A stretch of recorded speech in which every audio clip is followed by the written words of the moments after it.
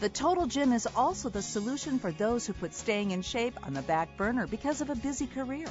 I didn't start out 70 pounds overweight. It just creeps up on you. When I look at my before pictures, it's shocking. It's embarrassing. I can't even believe that we let it get out of control.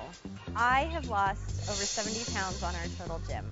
I went from a size 12 to a size 2. My before photos, I'm embarrassed.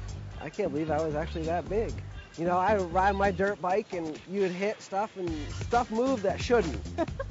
I lost 45 pounds in the total gym, working out six to eight minutes a day. The money we paid for the gym for years that we didn't use, we could have bought three total gyms.